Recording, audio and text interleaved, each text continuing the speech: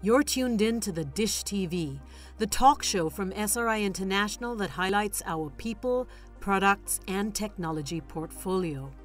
This series will focus on startups incubated by SRI Ventures. We invest in big ideas that create world changing enterprises to make people safer, healthier, and more productive. I'm Reenita Malhotra Hora, Head of Marketing and Communications. In this episode, my guest is Zor Gorelov, CEO of Kasisto, a conversational AI platform for banking and finance. I asked Zor how SRI's technology helped create Kai, which enables human like digital interactions between banks and their customers.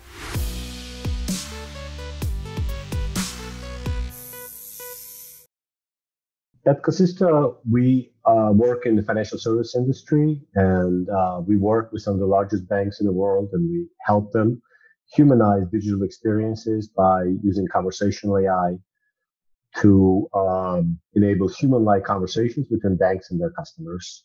Uh, we build virtual assistants for banking. Uh, for we have virtual assistants for consumer banking, for corporate banking, for wealth management. They all do different things in consumer banking, it's uh, really about transactions and, uh, and uh, payments. In uh, corporate banking, we our customers, or actually end users, sorry, are corporate CFOs and treasurers. Our system today are accessible to 18 million users. We're in 16 different countries in four different languages, including English, Chinese, French, and Bahasa.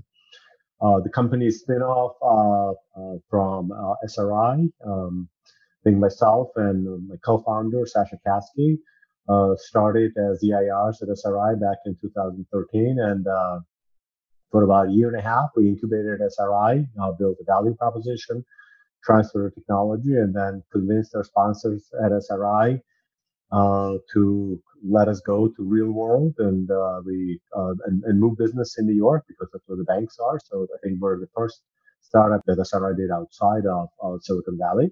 SRI licensed uh, natural language understanding, reasoning, natural language generation, speech recognition, voice biometrics. We're going to enterprise market, and we wanted to be able to stand uh, on on our own and work with some of the banks in the world. And you know, the IP that we have is second to none. There are a few companies in the world that have uh, that have IP that SRI allowed to uh, license to us. Maybe Watson, maybe Nuance Communication. So we started on day one with very strong IP and software and built from there.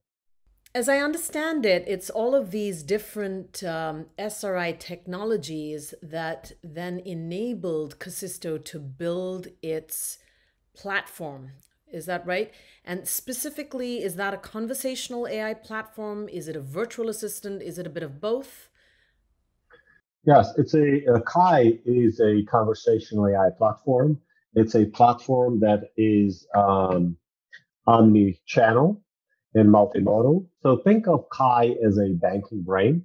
Banks deploy in the enterprise. They can run in the cloud. They can run on-prem. They support multiple clouds. But once that brain is deployed and has all the knowledge, those conversational experiences can be delivered on Alexa and Google Home. They can be embedded in um, banking mobile apps and iOS and Android. Uh, we have customers running Kai on uh, WhatsApp, on on websites, and everything in um, uh, in between. Under normal circumstances, I can see how uh, the conversational assistant would be helpful to me, the layperson. Right? Uh, what's in my bank account, or what's in checking versus savings? You know, I've got checks to pay. You know, whatever my needs might be. I'm curious to ask, what has changed since? Uh, the onset of this pandemic, since COVID 19? What are the kinds of questions that people are asking or the needs that they have that are different to before? You know, we have customers around the world, as I mentioned. And as COVID started spreading, we started observing interactions. They started with fairly uh, simple things. What is this COVID thing? I'd like to know about coronavirus. And very rapidly around the world, what we saw in our systems, remember, these are the not healthcare related. We don't have medical customers or hospitals. These are banking virtual assistants. Users started asking COVID related questions uh, and addressing them through the banking virtual assistants. So we saw questions about safety. Uh, how often do you clean your ATMs? Or is it safe for me to go into your branch? We saw questions about financial hardship. You know, I need to get, uh, I canceled my trip because of COVID. Can I get my money back?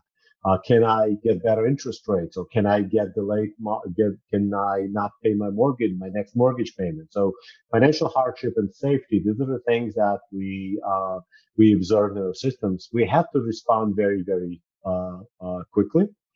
And we, what we did at Kasisto, we added Kai uh, COVID skill to all of our customers and we made it available to them free of charge so that now Kai virtual assistants running the wor- running our customers uh, around the world can interact with our banking customers, customers, uh, and answer questions about COVID related financial questions. How involved has the SRI team been as you continue to develop Kai to deal with these kinds of questions and situations? Well, uh, Bill Mark, uh, who's head of SRI's computer business, is, is on the board and he's very active board member. We work with Bill very closely. He uh, obviously participates in board meetings, but also uh, our technology organization, CTO and VP, VP of engineering, uh, our, our uh, AI team often interact with Bill and use it as a sounding board for different technology decisions. Uh, we also, uh, post spin out, we collaborated with various SRI teams on some of the advanced technologies and capabilities like language support, translation. We did some common projects where we felt that we didn't have enough expertise, but we had a mothership at SRI and still willingness to collaborate and work with us. So that was very productive. The Kai platform, of course, specifically for Kasisto, which which is a financial services firm. Just wondering, is this something that, in your opinion, could be applied to other related industry applications, insurance perhaps, or uh, real estate related financing, or something that is a little bit outside of Kasisto's specific focus but related? Yeah, definitely. I think these are all the verticals that we're looking at. I think we believe in building uh, intelligent virtual assistants. They deliver value to end users and banks. We don't want to build uh, what somebody referred to as um, check box chatbots. You know, they, they're there. Somebody takes Victor Lab, but they don't really do anything. We believe in building um, deep knowledge. We believe in, in building and creating meaningful customer experiences that are conversational.